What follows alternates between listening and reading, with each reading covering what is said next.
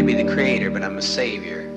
I take the strange variables of human life and make something out of the crazy quilt that saves hundreds of lives. Mm-hmm.